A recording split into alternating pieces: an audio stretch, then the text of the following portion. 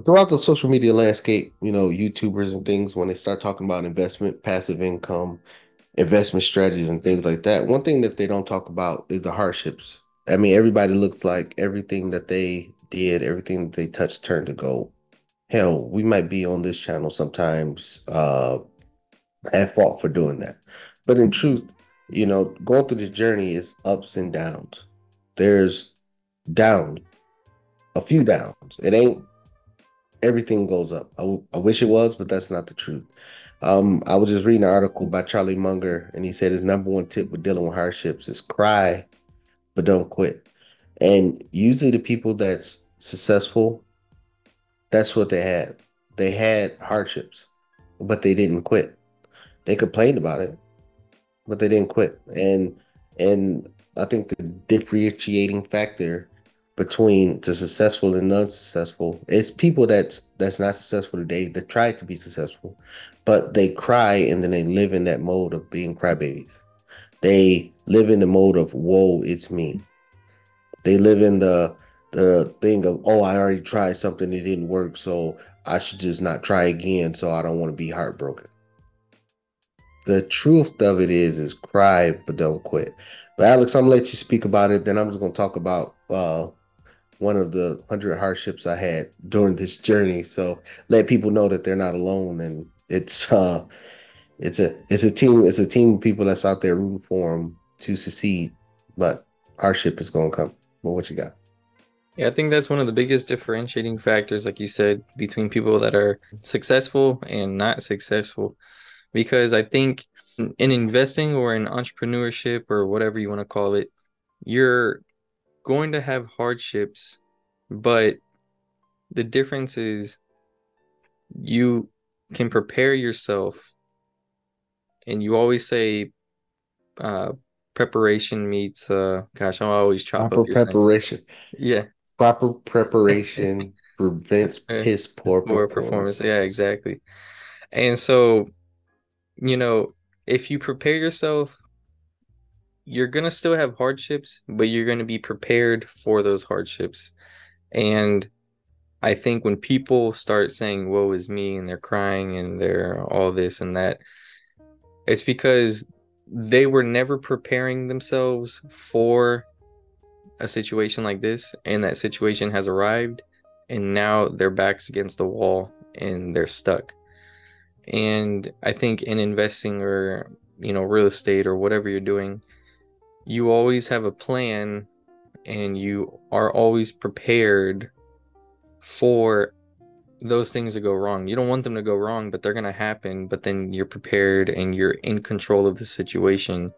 And I think anxiety comes from not being in control of that situation. So it's always, at least for me, I'm always trying to prepare for those situations because I know that they're going to come while on the other hand, at the same time, simultaneously preparing for getting that next deal. So I'm always trying to expect bad outcomes in a sense, but preparing myself for when it does happen so that when those outcomes do happen, you know, I don't want to hear that it's happening. It sucks dealing with it, but you know, I I've taken proper measures to handle that situation. Right. Um and like some of the things that I've went through, I mean, just to give you a reference, uh, the first my first plan to getting rich was um, I was in the army, 19 years old, uh, little snotty nosed chump. I say, oh, I know how to make money. You know, I had this guy come knock on my barracks door, and he convinced me to buy universal whole life insurance. I already had insurance, I knew that, but he said, oh no, this way you can put money up and invest and borrow money from it. They was talking about this back when I was, you know, 19 years old. So that's 20 some years ago. Um, and it's all said, oh, that's how I'm gonna make the money. Then I realized once I, you know, start getting the statements, you know, one year in, you know, most of the money was going towards the going towards the policy itself, and then only crumbs was going towards the investment portion. So I'm looking like, oh, that was just a waste of money. So I canceled that one.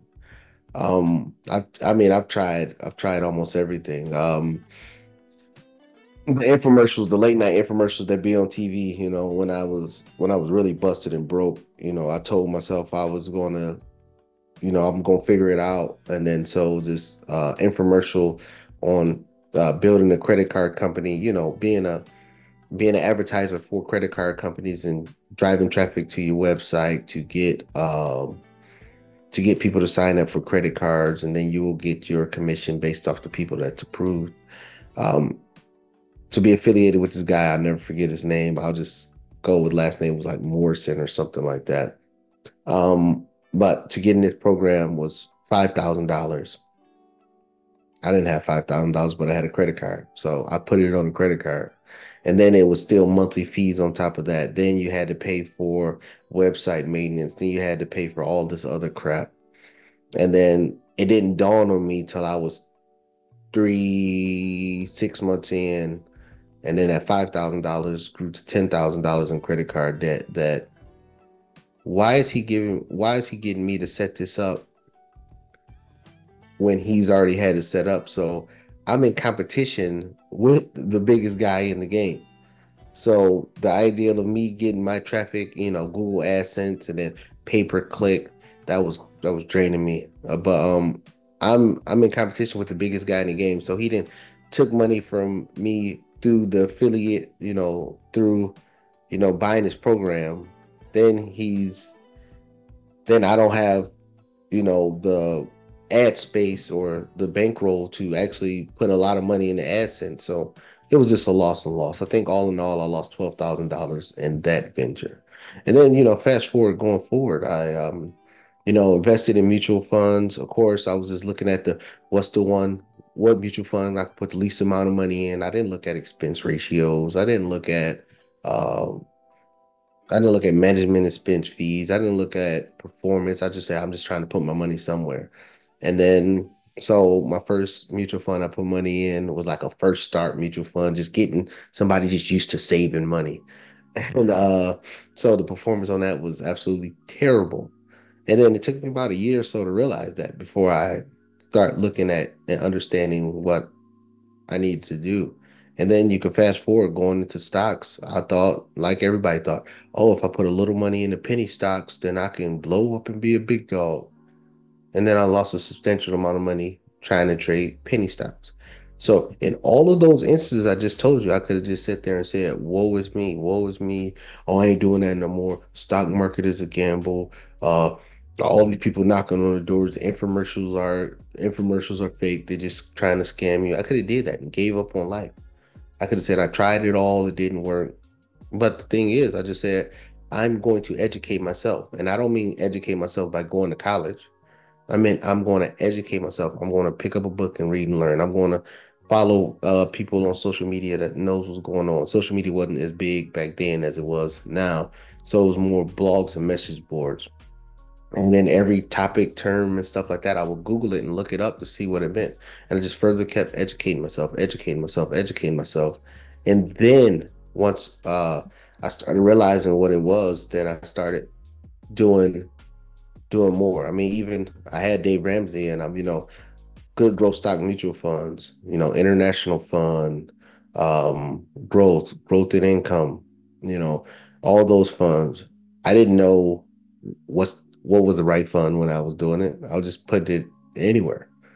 And but I had plenty of opportunities to say, you know, me poke going playing poker, thought I was gonna be the next Daniel Negreanu. Uh, won some, lost a lot more. And um, but all these instances I could have just quit. I could have just gave up and I just could say, oh man, I'm just gonna work a nine to five and I can't make it. But the truth is, is I cried, but I didn't quit it just kept me motivated to learn more, learn more, learn more. Even fast forward when I started getting to real estate. I mean, at first I just was like, oh yeah, well, everything over what the monthly payment is, and I bought my first rental property cash. Um, I thought everything over what you know the HOA fees was and the taxes at the time that was just cash flow in my pocket. I didn't think about maintenance or nothing like that. So that was just oh, that was just fun money at first when I first started.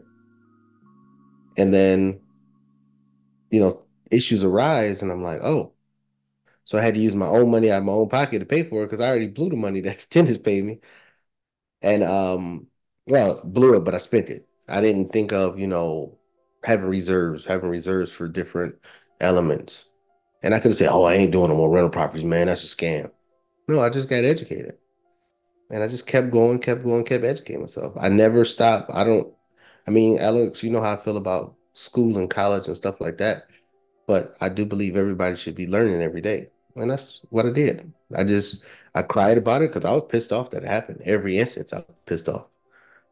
But I didn't quit. And that's what gets you to the success. If you just keep driving forward, keep driving forward. But if you cry and be like, I ain't gonna quit, I'm just gonna do it again, do it again, and keep throwing your banging your head against the wall and not learning something from that instance to make yourself one, two percent better every time, then you're not gonna do nothing. But you have to cry. You don't quit by educating yourself to get better in the next endeavor that you do and keep pushing. And I think you'll make it to the other side. Yeah, I agree. And I mean, the whole time you're talking, I just feel like I'm lucky to have learned from you and to avoid those mistakes.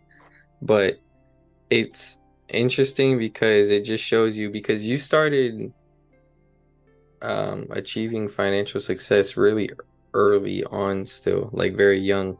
So it just shows you, like, even going through a time with no mentors, no help, or nothing, it's just trial and error. You're still able to achieve financial success if you just keep going at it. And I'm just thinking to myself the whole time, too, like, if you do know someone, then listen to the advice that they're giving if they've been a person that has taken action and shown from their actions what they've achieved because that's just going to save you a whole lot of time a whole lot of time of yeah. making those mistakes and i mean i can think of you know a couple mistakes but quickly I'm corrected. Trust me, guys. Kirby's at my throat if I make a mistake to fix it.